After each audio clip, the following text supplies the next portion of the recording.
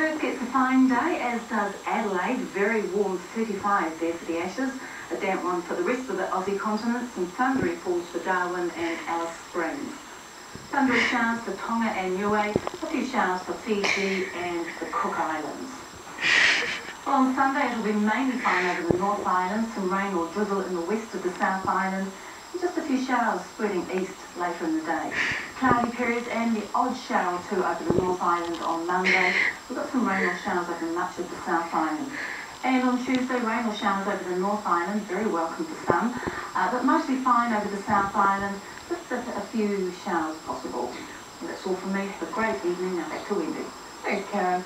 Finally tonight, she may not have Justin Bieber's hair or Lady Gaga's wardrobe, but Susan Boyle is a bona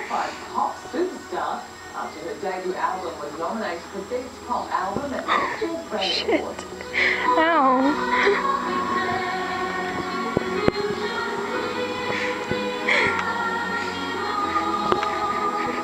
Boyle, whose second album is number one here in New Zealand, will face off against Gaga, Bieber, Katy Perry and John Mayer for the prize in February. Rapper Eminem leads the nomination two